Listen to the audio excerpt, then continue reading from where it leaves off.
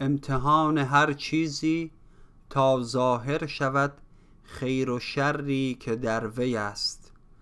اندرین گردون مکرر کن نظر زانکه حق فرمود ثم مرجع البصر. یک نظر قانع مشو زین سقف نور بارها بنگر ببین هل من فطور. چونکه گفتت کاندرین سقف نکو بارها بنگر چو مرد عیب جو پس زمین تیره را دانی که چند دیدن و تمییز باید در پسند. تا بپالاییم صافان را ز درد چند باید عقل ما را رنج برد. امتحانهای زمستان و خزان تاب تابستان بهار همچو جان. بادها و ابرها و برقها تا پدید آرد عوارض فرقها تا برون آرد زمین خاک رنگ. هرچه اندر جیب دارد لعل و سنگ. هرچه دزدیدست این خاک دژم. از خزانه حق و دریای کرم. شحنه تقدیر گوید راست گو.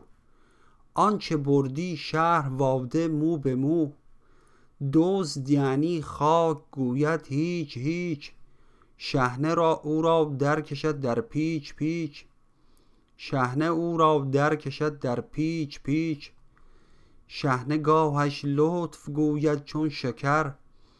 گه برآویزد کند هرچه بتر. تا میان قهر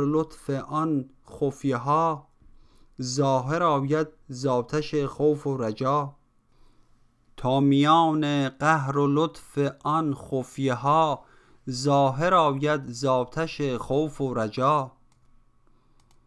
آن بهاران لطف شحنه کبریاست وان خزان تخویف و تهدید خداست. وان زمستان چارمیخ معنوی تا تو ای دزد خفی ظاهر شوی.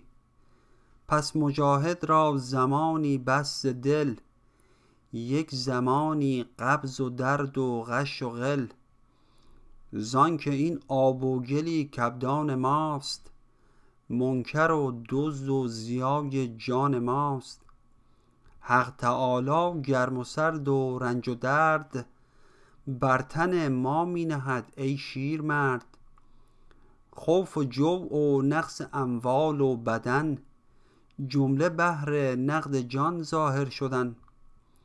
این وعید و وعده ها انگیختست بهر این نیک و بدی کامیختست چونکه حق و باطلی آمیختند نقد و قلب اندر حرمدان ریختند. پس محک می بایدش بگزیده ای در حقایق امتحانها دیده ای تا شود فاروق این تزویرها تا بود دستور این تدبیرها. شیر ده ای مادر موسی ورا واندر آب افکن میندیش از بلا. هر که در روز الست آن شیر خورد همچو موسی شیر را تمییز کرد. هر که در روز الست آن شیر خورد همچو موسی شیر را تمییز کرد.